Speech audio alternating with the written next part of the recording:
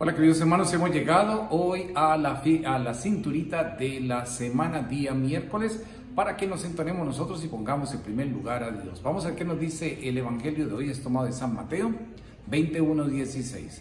En aquel tiempo dijo Jesús a sus discípulos esta parábola.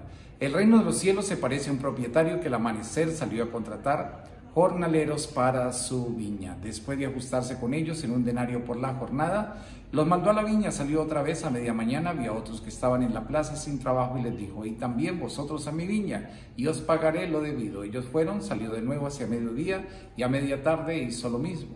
Salió al caer la tarde y encontró a otros parados y les dijo, ¿cómo es que estáis aquí el día entero sin trabajar? Le respondieron, nadie nos ha contratado. Él les dijo, y también vosotros a mi viña. Cuando oscureció, el dueño de la viña dijo al capataz, llama a los jornaleros y págales el jornal, empezando por los últimos y acabando por los primeros. Vinieron los del atardecer y recibieron un denario cada uno. Cuando llegaron los primeros pensaban que recibirían más, pero ellos también recibieron un denario cada uno. Palabra de Dios.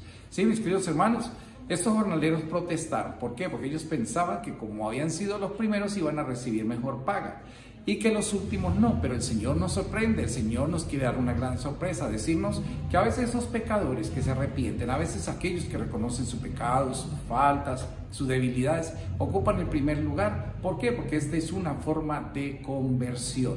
Así que mis queridos hermanos, tenemos que presentarnos ante Dios como somos porque Él ya conoce nuestro pasado, nuestro presente, nuestro hoy. ¿Para qué nos ponemos nosotros carátulas? ¿Para qué nos ponemos máscaras?